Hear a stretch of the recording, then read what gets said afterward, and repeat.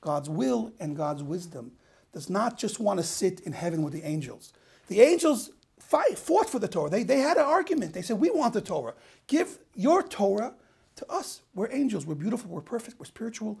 We'll fulfill your Torah perfectly. Hashem said, I don't want my Torah fulfilled perfectly from angels that are robots, spiritual robots to do my will because they have no choice.